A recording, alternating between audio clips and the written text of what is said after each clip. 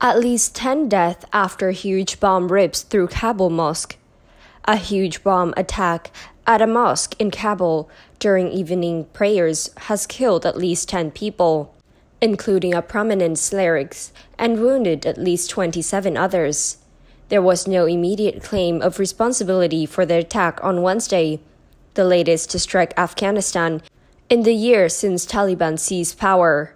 Several children were reported to be among the wounds, amid fear, and the casualty numbers could rise further.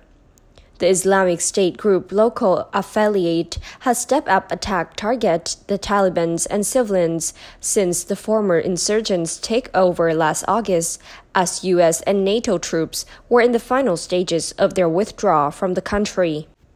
Last week, IS claimed responsibility for killing a prominent Taliban cleric at his religious center in Kabul. According to a witness, a resident of the city's Khair Khana neighborhood, where the city Juma mosque was targeted, the explosion on Wednesday has carried out by a suicide bomber. The slain cleric was Mullah Amir Mohammad Kabuli, the witness said, speaking on condition of anonymity because he was not authorized to talk to the media. He added that more than 30 other people were wounded the Italian emergency hospital in Kabul said at least 27 wounded civilians, including five children, were brought there from the site of the bomb blast.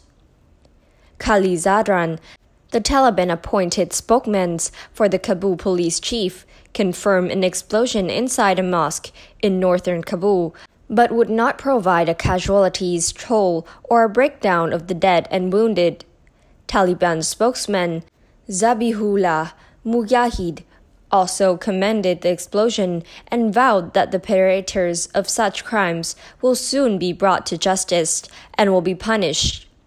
A US led invasion toppled the previous Taliban government, which has hosted an Al Qaeda leaders Osama bin Laden in Afghanistan following the September 11 terrorist attack in the United States. Since regaining power, the former insurgents have faced a crippling economic crisis.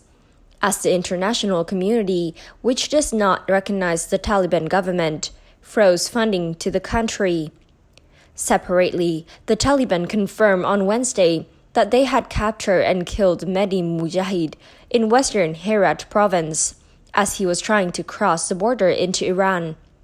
Mujahid was a former Taliban commander in the district of Baltak in northern Sar-e-Pul province, and the only member of the minority Shiite Hazara community among the Taliban's rank. Mujahid had turned against the Taliban over the past years after opposing decisions made by Taliban leader in Kabul. That's it for today. Thank you and goodbye.